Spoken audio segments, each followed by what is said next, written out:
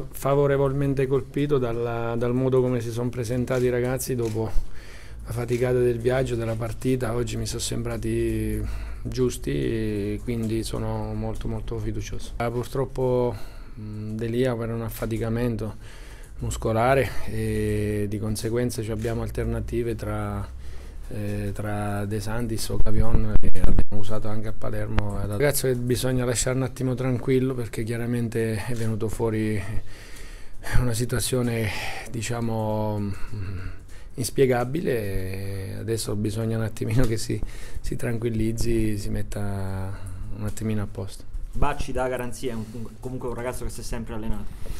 Ma adesso decidiamo domani, decidiamo domani un attimino il da farsi, chiaro che ci sta Bacci che si è allenato sempre bene con noi, quindi può essere un'alternativa positiva.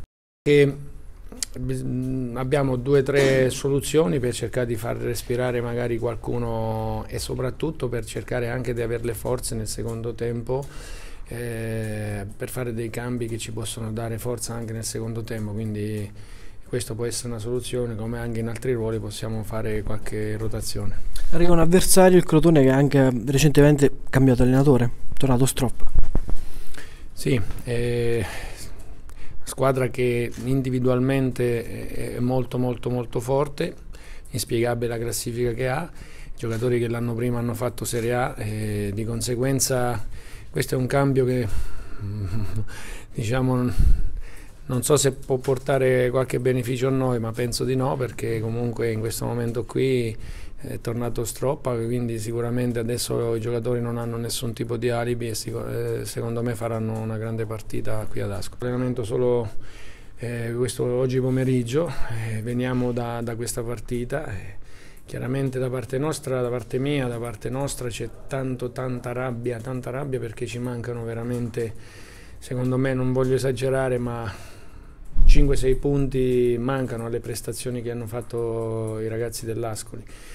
E questa è una cosa che lo dobbiamo trasformare in rabbia, soprattutto in questa partita qui contro il Crotone, perché veramente abbiamo, abbiamo dimostrato fino adesso di essere una squadra all'altezza di questo campionato con prestazioni di, di, livello che purtroppo non sono stati mai coronati diciamo, a pieno con i punti per eh, degli episodi clamorosi, degli episodi proprio assurdi in più di un'occasione.